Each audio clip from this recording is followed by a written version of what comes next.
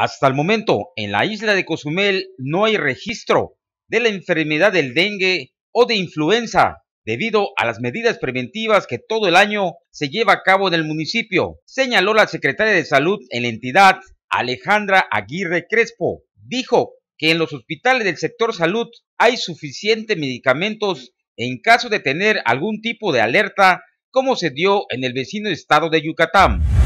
Tenemos 141 casos de influenza, todos en tratamiento, ninguno Afortunadamente eh, se han hecho reforzamientos, sobre todo en el tema de eh, medidas preventivas. Se ha solicitado la participación de la comunidad para fortalecer este tema de la prevención.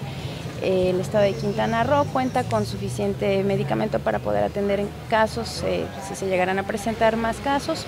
Todos se encuentran en tratamiento, ninguno hemos tenido en esta semana complicaciones.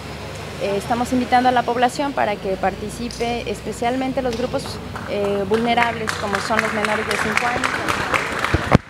Para Canal 10, Jorge Q. Imágenes, Fidel Sabido.